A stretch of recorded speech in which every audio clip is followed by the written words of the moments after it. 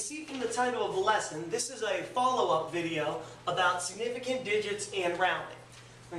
Summarizing up what the first video was talking about are all the things that were discussed about how we determine the number of sig figs in a number. And the two main points to take home are that all non-zeros are significant and that the only time right, that the number zero will not count against you is if it's a decimal number and it's in front of numbers that will count, meaning placeholders, or if it's a very large number and there's no decimal point at the end. A general rule for helping to remember what's going on with zeros right, is if it's a number bigger than 1 and it has a decimal, every number counts, zeros and not zeros. If it's a number less than 1, you don't start counting significant digits until you hit the first non-zero, and then everything after that counts.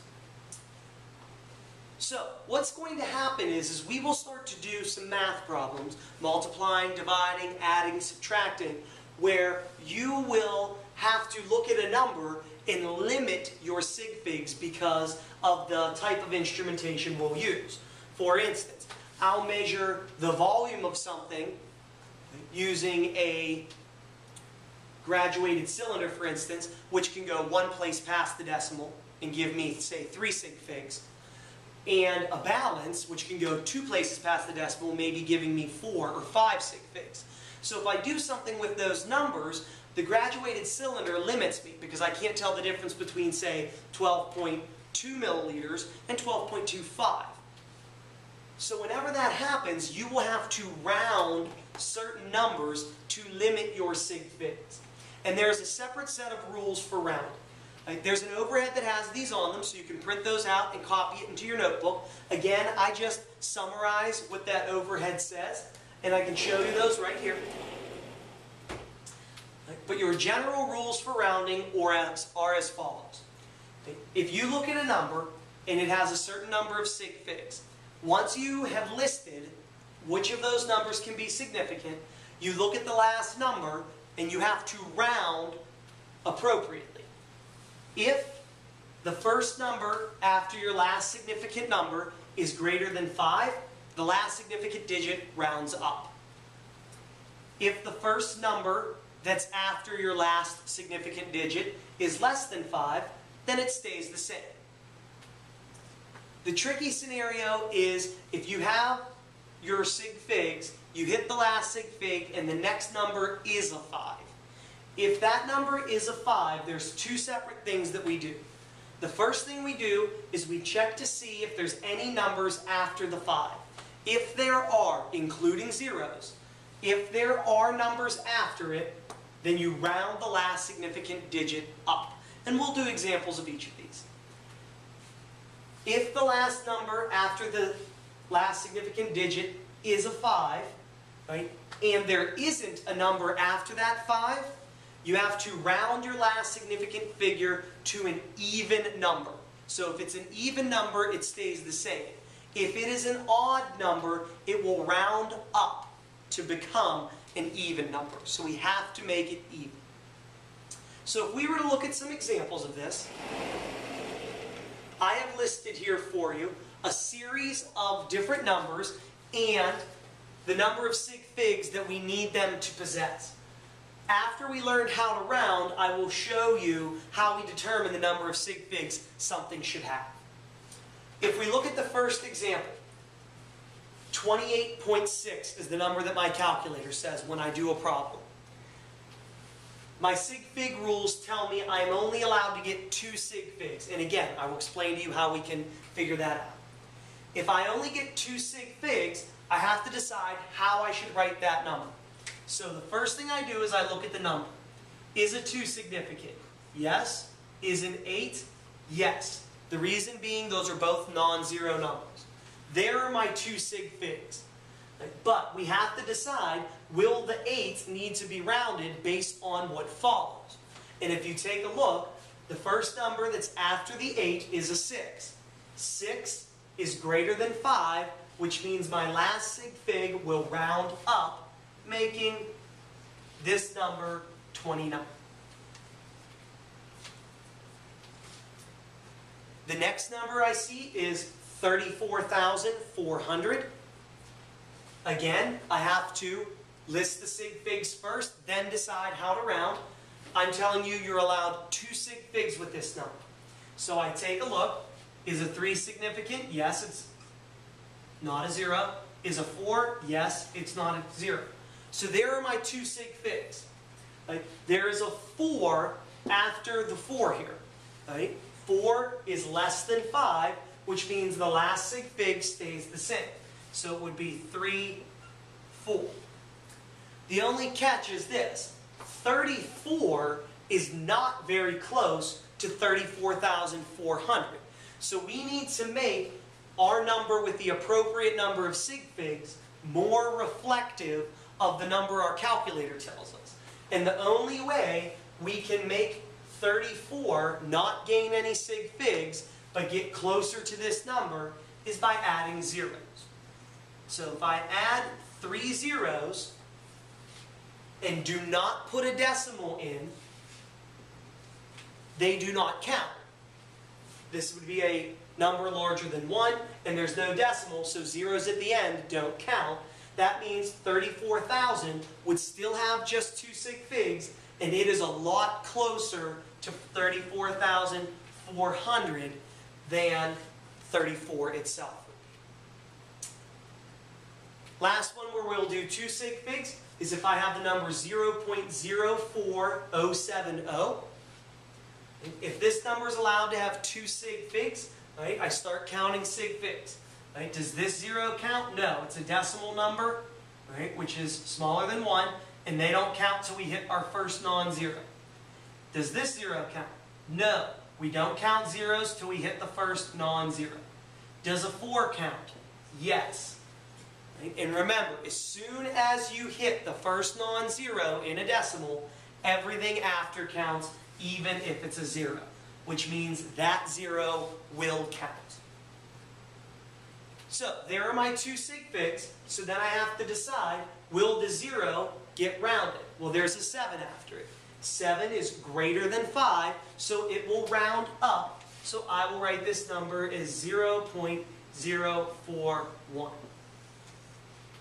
If you wrote this number as just 0.041, that would be fine also. Still has two sig figs. Right, the zero in front of the decimal. Some people like to use it, some people don't.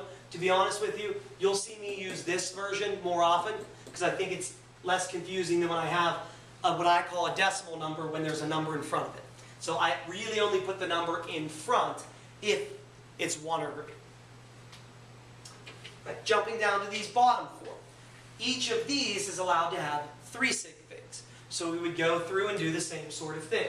Is a 1 significant? Yes. Is a 2? Yes. Is an 8? Yes. Now we have to decide, will we round to 8? Well, the first number after it is a 7. 7 is greater than 5, which means it will round up. We will call this number 12.9 to make it accurate. 12.83 say shows up on my stopwatch, but I only get three sig figs because of what's going on.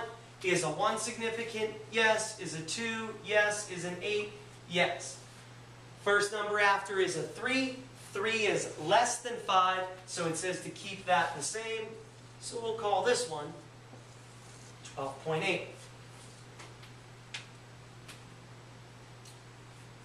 Next case, 12.85 with 3 sig figs. Does the 1 count? Yes. 2? Yes. 8? Yes. Here is that scenario where we have a 5 and we have two separate rules. Rule number 1, if that number is equal to 5, first one past the last significant digit, we check to see if there's a number after it. There is not a number after the 5, so we can't use Rule 3.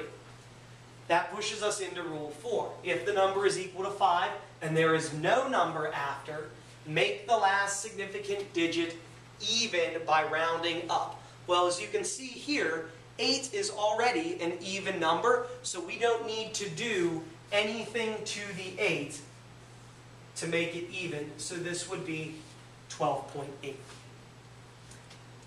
Last case that we'll look at, right, number seven, I get three sig figs with the number 12.850. With that, does the one count? Yes. Two, yes. Eight, yes. Again, here is that pesky scenario where the first number after is a 5. First thing we check is, is there a number after the 5? The answer to that question is yes. Even if it is a 0, there still counts as having a number after. If there is a number after it, it says, if yes, round up. Which means the 8 will become a 9. We will call this 12.9. So those are some different things that we will have to do with rounding as we go through. The second thing I wanted to show you is how do we tell the number of sig figs that we are supposed to have in a number. And that is the last thing that I want to do right, on the video. We get ourselves a fresh board. This is on the same overhead that you have printed out that lists the rules for rounding. All right, it talks about multiplying and dividing and adding and subtracting, but I will relist them up here. To determine the number of sig figs,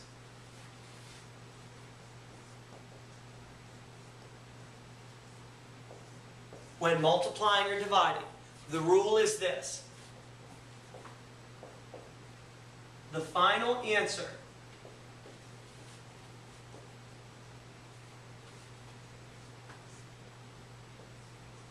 cannot have more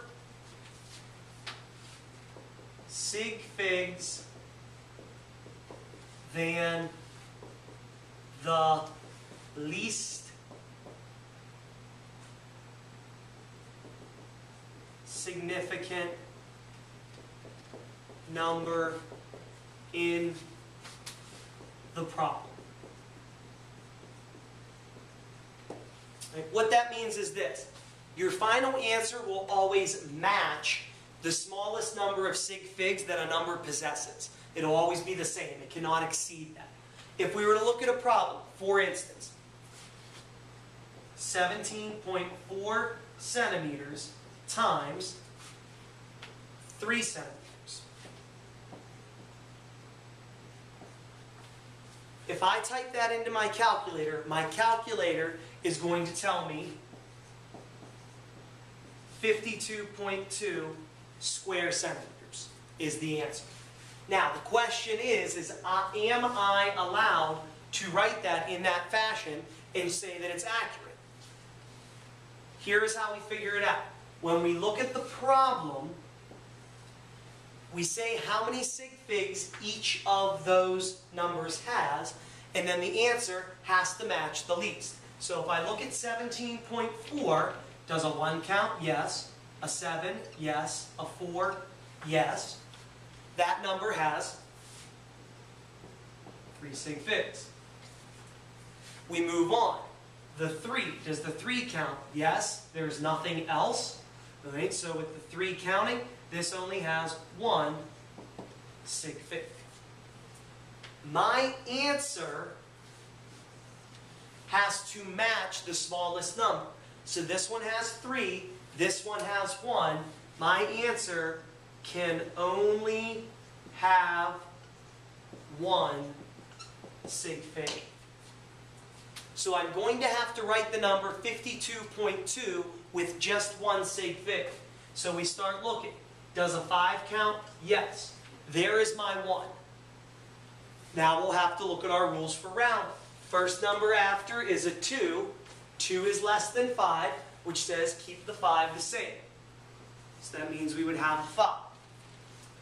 However, 5 is not very close to 52, so to make it closer, we'll add an insignificant 0. That doesn't count against us. So it's going to be 50, and then never forget your units, centimeters squared. And the reason we have to do that is I measured this with perhaps a centimeter ruler, which lets me say 17.4, but with this, I only had something that could tell me the number of centimeters and nothing in between.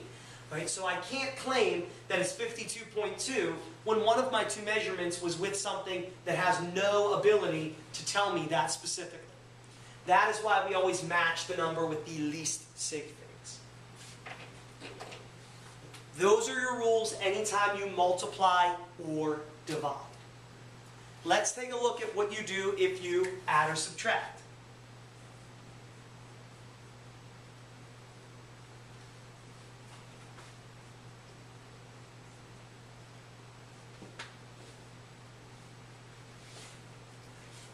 Your rule for determining sig figs when you add or subtract is that the final answer.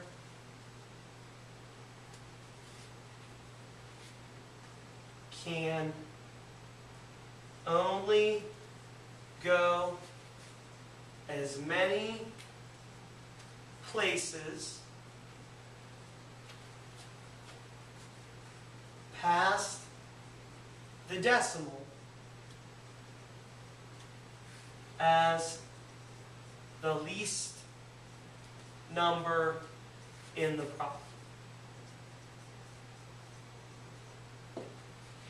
Very often you'll hear me say, do I care about the number of sig figs, which is multiplying and dividing,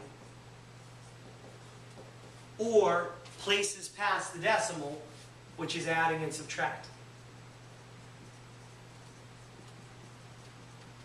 If you can remember that simple rule, sig figs will be no problem for you. Right? So when I add and subtract, I clear, care about places past the decimal. So if I looked at an example of that, for instance, 11.374 grams plus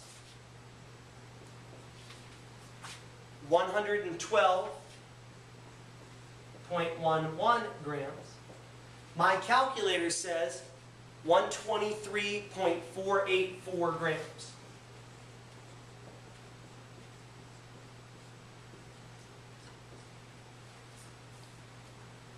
Now, I need to decide, am I able to write that number in that fashion? Because this balance is called an analytical balance. It can tell me to the thousandth place. This balance is just called a centigram balance. It can tell me to the hundredth place. And so the idea here is, is can I definitively say that I have 123.484 grams based on what I'm seeing? So the first thing you do is you look at mathematically what you're doing we are adding. And when we add and subtract, we care about places past the decimal.